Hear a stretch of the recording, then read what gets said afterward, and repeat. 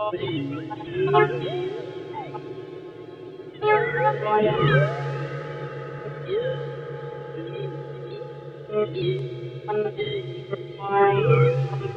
the name of the piece is Gnosis Song. This is a work that is a collaboration amongst many people. Uh, of course, the two of us here, Greg Niemeyer and myself, Chris Chafe. Uh, perhaps the most important person in this work is a person who was a patient in a hospital and they were wired up with biomedical sensors and we recorded, well we didn't record, but doctors recorded some of the bodily signals from this patient.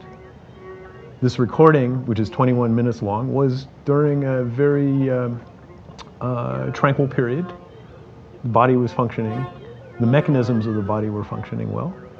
And we have that data, and this piece takes you inside a network of sounds and a network of signals and a network of graphics, which Greg could explain uh, this world that we've created to take you inside of this person's body.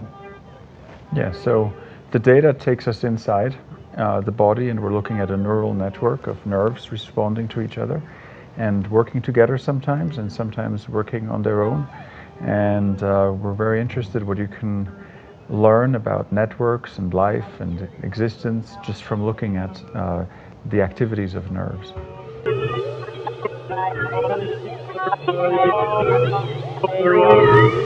So the first step is to get really good data of uh, nerves firing actually at the speed um, of, of neural activity, which is 1,000 hertz.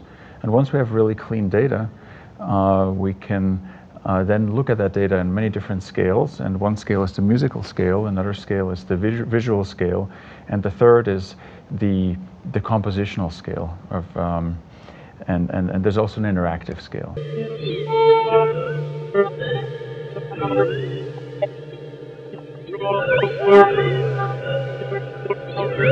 Well, in fact, uh, we've not simulated anything in this work. We're letting the signals speak directly to the listener. And that's a very important point because we could, we could, we could try to model the activity as some kind of a artificial system. And we could listen to that and I actually do that a lot in other music that I make. I, I, create algorithms that have their own kind of life and you can jam with them. This music is absolutely natural. It's the mechanics of this neural signaling that you're listening to directly. So think of it as uh, this network of nervous signals, nerve signals, as the performer.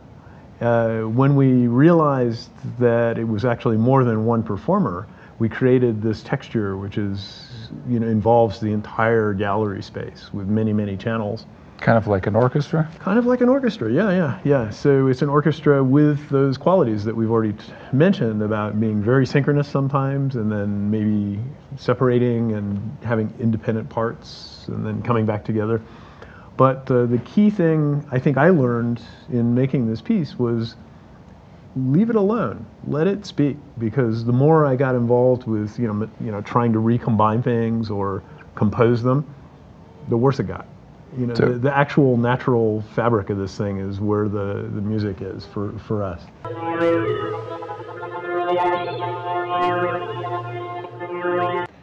Well, the visual is actually based on the gallery because I got a map of the gallery and I saw where the speakers were and I knew we had 15 channels of sound, right? right. And uh, we were going to use the eight channels that are already at the periphery of the gallery space and we put uh, seven more channels in the middle. And so when I saw that, I, I, as a map, I thought, okay, that's the basis for the visualization. I'm just going to make a map of the gallery that is the visualization of the sound. And so when you look at the image, you're actually looking at a top-down view of the space you're in. And you can see the, uh, the, the animations showing where in the space that we created uh, the, the sounds come from and how they interact with each other. So, so the map of the space was the starting point for the design for the uh, uh, visual.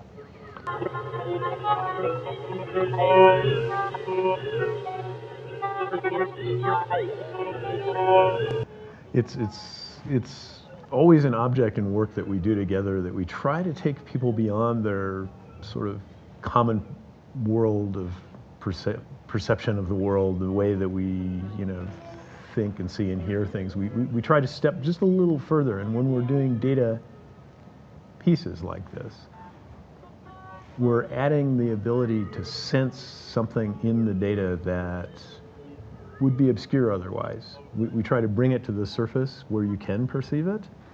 Uh, and not in a way that's going to create some kind of scientific understanding in this case or some explanation, but something more like an empathy or a feeling that brings you out of yourself into another, another place. And I, I always use the word teleportation.